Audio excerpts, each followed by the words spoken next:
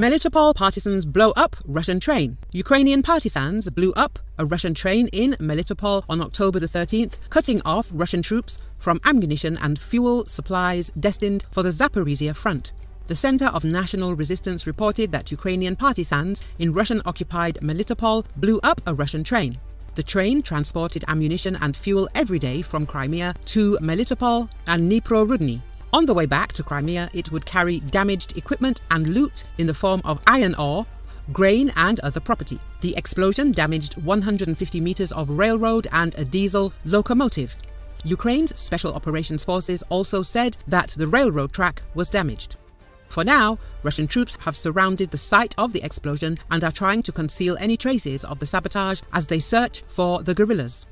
The Center of National Resistance said that the Ukrainian partisans are now safe and promised more such explosions in the near future.